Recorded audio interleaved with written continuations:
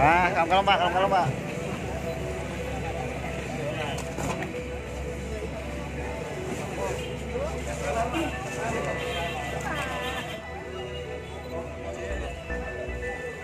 Kalem-kalem Pak. Nah.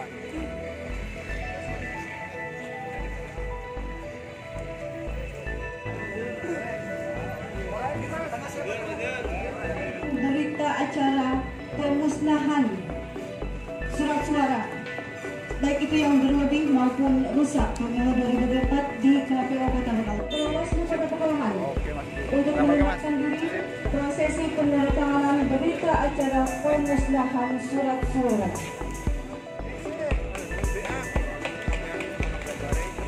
Apa yang? 89 surat suara baik itu yang rusak maupun yang lebih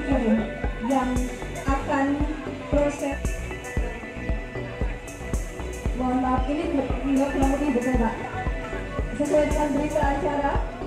Bahwa jumlahnya 12.789 surat suara. Silakan untuk berfoto bersama dulu. Pengalaman untuk ikut bergabung. Baik, terima kasih. Demikianlah Bapak Ibu yang kata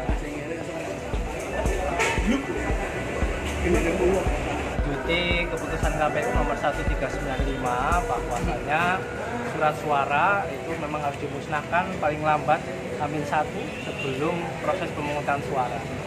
Jadi ya, Ada berapa Pak yang dimusnahkan? yang dimusnahkan totalnya 12.789 12789.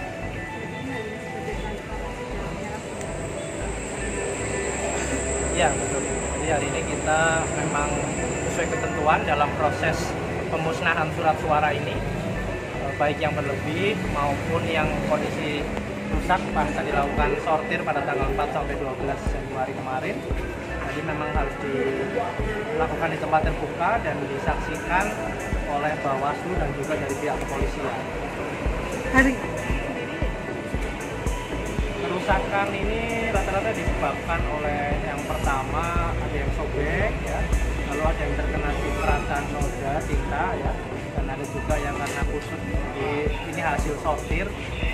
Dan juga uh, kita juga mendapatkan kelebihan surat suara dari yang dikirim berlebih sehingga itu memang harus dimusnahkan. Sehingga clear di gudang tidak ada lagi sisa surat suara udah habis ya Pak ya, berarti sudah didistribusikan juga semua ya yang lain ya. Ya, ya. Adapun yang di gudang hanya surat suara yang untuk pemungutan suara ulang saja apabila ada terjadi. Antisipasinya berapa Pak?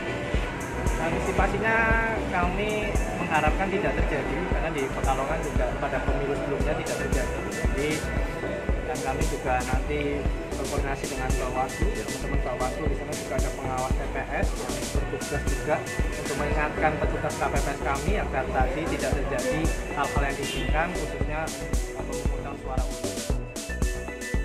Jangan lupa follow, like, dan subscribe sosial media Tribun Pantura. Download Tribun X sekarang. Menghadirkan lokal menjadi Indonesia.